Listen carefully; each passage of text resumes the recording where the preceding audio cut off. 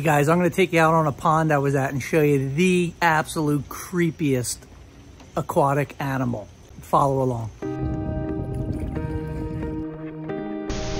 Near the end of the video, I will make contact with this strange beast. This is an unusual creature that lives in the waters of New England. These are freshwater bryozoans, or sometimes called moss animals. These are microscopic aquatic invertebrates that live in colonies which form large jelly-like masses.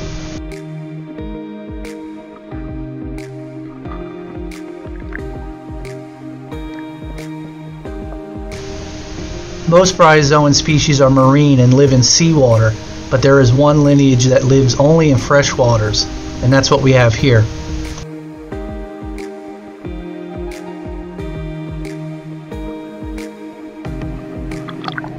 They live mostly in quiet waters of lakes where they attach to hard surfaces like sticks or rocks. The colonies release larvae that swim away and establish new ones nearby.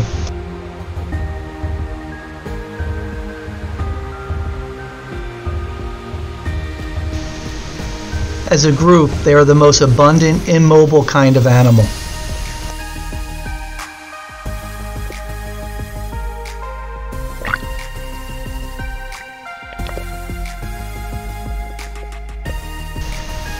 These gelatinous masses of animals are filter feeders, using hollow tentacles to gather prey.